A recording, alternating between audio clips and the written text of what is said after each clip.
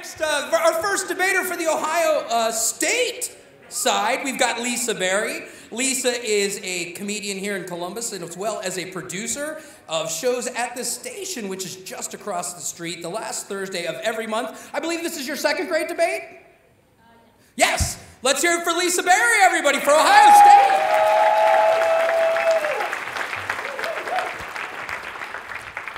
Yeah, like Dan said, this is my second one. I'm really excited to be here. Michigan is a great rival of us. I think most people here know what Ohio State brings to the rivalry. Uh, Michigan brings a lot too. They have a lot of great coaches in their past, like Gustave Ferbert, George Little, Gary Moeller, Bo Schembechler, Brady Hoke, Jim Harbaugh. You know what all of those Michigan coaches have in common? They're all from Ohio and we kicked them out. What do you call a bad football coach from Ohio? A Michigan coach. Here's how terrible Michigan coaching is. Uh, like many people have mentioned, they did have maybe the greatest quarterback of all time, Tom Brady, on their team, and they sat him on the bench for two years.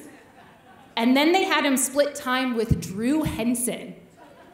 I didn't even know who that was. I had to look him up on Wikipedia. You know what picture he has on his Wikipedia page? A picture of him playing baseball. That's who you split time with Tom Brady. Jim Harbaugh is from Ohio, went to Michigan. His brother John is from Ohio, went to Miami of Ohio. Yeah, I guess which one won the Super Bowl?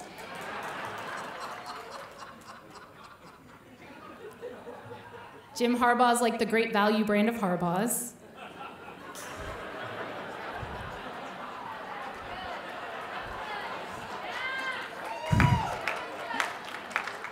You know they were made in the same place, but there's one that's much better quality. Michigan is really proud to call themselves a public Ivy. Uh, they're a public university, but they like to pretend that they're as good as an Ivy League school. Well, at least your football team plays like an Ivy League team. yeah, you're a, an Ivy League school that can't, can't count past one ramp.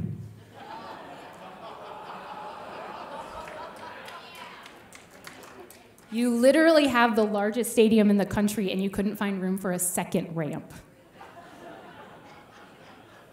I don't know if you guys have heard, uh, but real Ivy League schools had a, a scandal a few years ago where they were letting people in who maybe didn't live up to the qualifications to be at an Ivy League school. So they've cracked down on legacies and also athletic scholarships for people that don't quite qualify to actually be in an Ivy League school. So, good news, Michigan, your next recruiting class is set. You can just take Harvard's rejects. uh, I, uh, I actually I did go to Ohio State. I, I went to yeah. I went to all the football games while I was there. I'm still a huge fan, um, but like I get it. I do know why people sometimes don't like Ohio State. Like we tried to trademark the word the. I get it, we're the baddies. Um, but so I do just want to take a minute and, and tell Michigan, on behalf of The Ohio State University, I want to say you're welcome for all of the money you're going to get for the TV deal that we got you.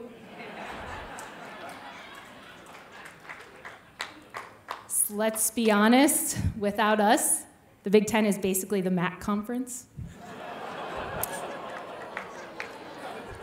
oh. It's okay, Akron and Ohio University. Just because you've never played a primetime game, you're still a real football team. It's adorable. You know, I'm gonna break character for a second. Uh, believe it or not, this is not my full time job. I'm an accountant and uh, my CFO went to Ohio University, and I didn't know he was going to be here today.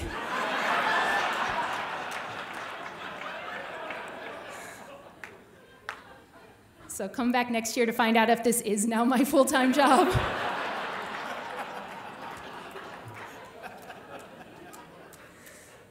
uh, but again, just to be clear, we're the ones that got the big TV deal and all of the money for that TV contract.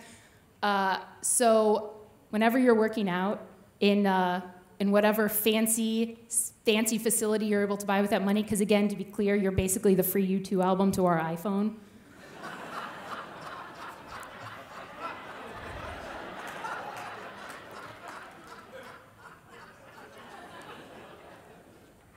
I hope you at least have this decency to call that facility what it is the house that Brutus Buckeye built.